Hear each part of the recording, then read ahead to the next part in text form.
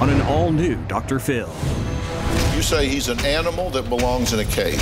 They agree their son is uncontrollable. You just came out and you threw a pill bottle at your mother. I don't need pills in order to sit down and talk.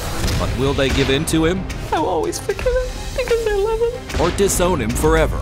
I regret the day that we adopted Adam. You said that you should have just drove past the hospital. Yeah, maybe that would have been the best choice. America's most watched talk show. All new Dr. Phil.